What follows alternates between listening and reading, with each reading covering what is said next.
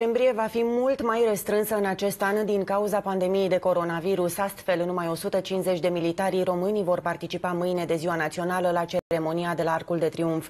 Discutăm pe acest subiect cu domnul Dan Oliver, Angel, purtător de cuvânt al Ministerului Apărării. Bună dimineața! Bună dimineața!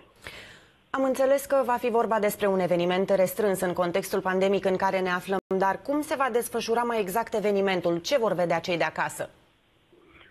Uh, în primul rând, îi rugăm pe, pe cetățeni să rămână acasă, să nu vină la Arcul de Triunf. Ceremonia va fi foarte restrânsă. Uh, anul acesta, din păcate, nu vom avea o paradă. Uh, vom avea doar o ceremonie, cum spuneam, o ceremonie restrânsă cu respectarea tuturor măsurilor de prevenire și combatere a pandemiei COVID-19.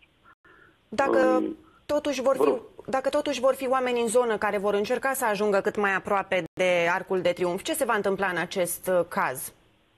Vor, vor fi măsuri, uh, măsuri de restricționare a accesului, tocmai ideea de a proteja atât uh, pe cei prezenți la ceremonia de la Arcul de Triunf, dar mai ales pentru a proteja publicul.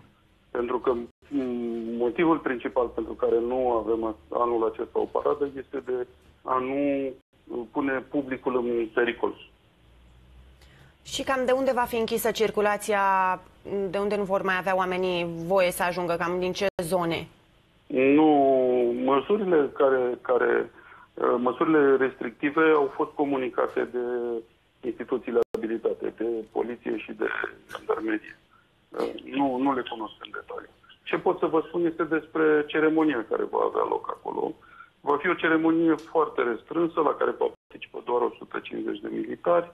Uh, președintele va fi întâmpinat, se va intona imnul de stat al României, vor fi cele 21 de salve de tun, după care uh, președintele țării va depune o coroană de flori, se va păstra un moment de reculegere și va fi o alocuțiune. La Alba Iulia cum va fi? Toate ceremoniile din țară vor fi, se vor desfășura aproximativ după același scenariu, vor fi foarte, foarte restrânse. Se, va, se, se vor depune coroane de flori și cam atât.